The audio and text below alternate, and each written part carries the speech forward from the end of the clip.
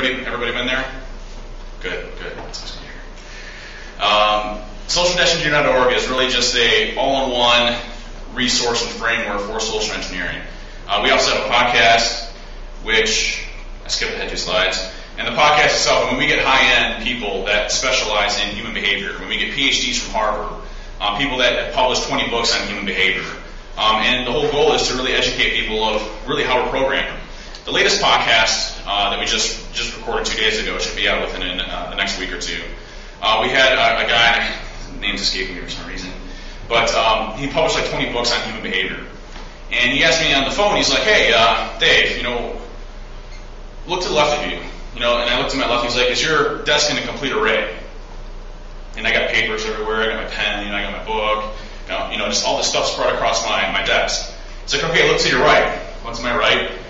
And he's like, what's there? I'm like, well, not really much. It's all orderly and everything like that. He's like, all right, well, you're left-handed. I'm like, yeah. He's like, okay, so now I know by going to your desk or what you do in your behavior that you're a left-handed person.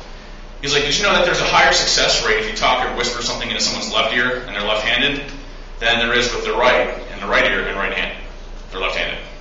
Because based on what part of the brain actually interprets what you're going to do will actually make you decide a certain way generally better than the other way. So you have like an 85% chance in my left hearing in my left ear to agree with you than you know 60% in my right ear, which is pretty interesting. You guys publish you know like insane amount of books, so I don't know. I mean, it could be fake. Or not. But uh, really good resource to, to go through that. The social engineer framework uh, really has basically everything you possibly need to, to, perform social engineering within your organization or learn more about it. Uh, really great resource if you haven't checked it out. So I released a new version of SET at Nauticon. So it was about uh, a few weeks ago. I always come up with crazy names. Last one was uh, was it Rise of the Pink Pirate or something? Yeah. I don't know. Come up with these. And a long story, I mean, uh, DEF CON 16 I was presenting on Fast Track, and uh, the offensive security team decided that it'd be pretty funny to uh, launch a lot of lemons at me. So while I was on stage at DEF CON, I had about 70 lemons launched at me, and one happened to give me right across the face, which then just disoriented me, and I had no idea what I was doing. So. So basically, just it's open source, it's free. You can do what you want to. It's like lemon party. What? It was like a lemon It was party. like, what? What's that? What's that? right on cue. so uh, Set is uh, open source. It's purely Python driven. Do what you want to with it. If you want to rename it and call it your own tool, and you know, tell your company that you wrote it, go for it. I don't care. It's free. Um, it integrates with Metasploit primarily because obviously Metasploit is a framework, right? Everything you saw there from building exploits to launching exploits to creating your own payloads, because it's a framework. Uh, so building stuff into it is what it's designed to do. So it's payload repositories, it's client-side exploits, everything like that. You don't want to recreate the wheel because those guys are much smarter when it comes to that. Focus on that, and the framework is absolutely useful for that. It's multiple attack vectors specifically designed for social engineering, hence the social engineering toolkit. Uh, it's for good, not bad. So help pen testers and organizations test their security program. Who here's bad? Um, No. Hey, so everybody here's good, so we can at least Martin. so let's talk a little bit about the different set attack vectors. Um, there's a spear phishing attack. Everybody knows what spear phishing is, hopefully. It's just targeted attacks against an organization, either via email or other methods, in order to coax them into doing something. You know, whether or not you're double clicking an exe or a PDF or you know whatever you're doing um, to compromise the system. The spear phishing attack will, I'll explain that. Definitely help you out. The web attacks. This is this is probably my, my favorite aspect of the social engineering toolkit. The web attack vectors uh, pretty dangerous. I'll talk about that in a few minutes. The malicious payload, uh, malicious USB, DVD, and CD. Um, really simple, basic attack, but it'll definitely grow over time. This is new in version 0.5. Uh, but it'll automatically create a you know auto run based USB, DVD, or CD for you, so that you know you can distribute them, and then when they go and insert their computer, it you know drops a Metasploit payload and they compromise. So again, all around social engineering. So new in version 7.05, which is my favorite version right now. Well, I guess there is one. But um, the credential harvest. I'm going to show you a quick example of this one. And by the way, uh, set is uh, in backtrack by default. It's under the slash pentest slash exploit slash set, and then it's actually all cap letters um, in there. So it's this uppercase set. First thing you want to do when you get set, if you're using just the standard version of backtrack, is you want to update it. And similarly to Metasploit, you just type in svn update. And that will go and pull down the latest version of set for you. Now to run set, step in set.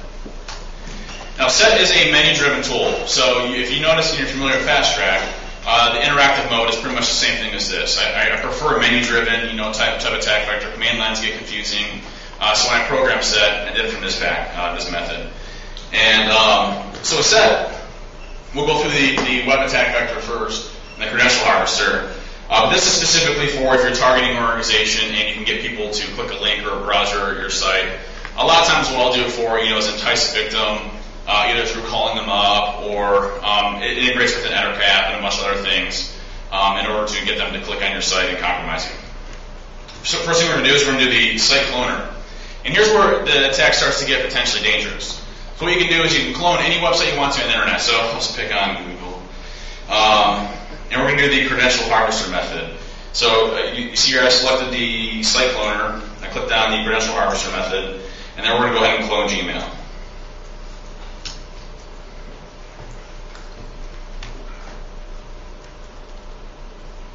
So clone it. And all we do is hit enter. So this is my attacker machine. Uh, so I have a Python-based web server running that will handle the requests for us. Now, to show you what's going to happen is somehow I entice a victim. You know, again, either you email them or, or some other method.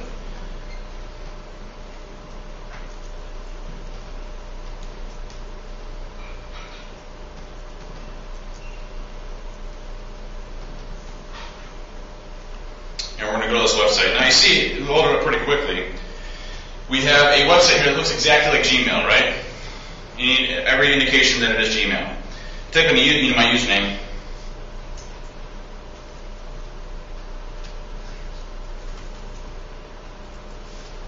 Type it in, I hit enter. And if you look here, oh, that's weird, brought me back to, to Google, okay? And if you look at the top here, where am I? Google. Google. However, on our other end, it harvested all of our credentials for us. So you can see here I got my username field and I got my password field. So that's nice. Now when you control C out of here, it will export um, automatically a report format for you. So it'll do HTML based formatting and also do XML based formatting so if you want to create a tool off of it. Go right ahead. Um, but what's nice about this is if you're doing a mass phishing attack against someone and you get say 50 people, it is multi-threaded so it will handle multiple connections and things like that um, it'll generate a nice report for you, and I'll show you really quick output of that report.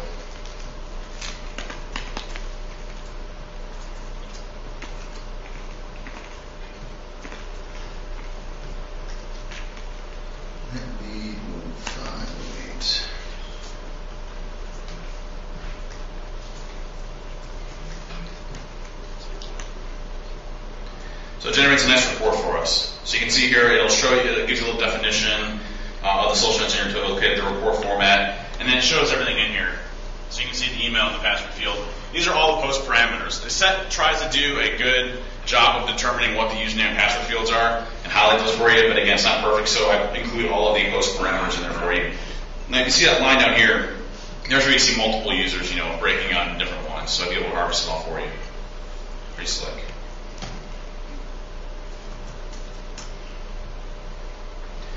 So one important aspect about set is the configuration file. I get a lot of questions like, well, hey, if I'm using, uh, you know, set when, you, when I was in that attack, set automatically detected my IP address and put it in, in, into the tool for me. There's a lot of times where you might have multiple interfaces, and you know you might have a public IP address on one and your internal on the other, and it uses whatever internet connection to, to get out to the internet. So you can configure it manually, and it's all done through the set config file. It's, it's the most important, probably aspect of customizing set in the tool. That's under config slash set underscore config.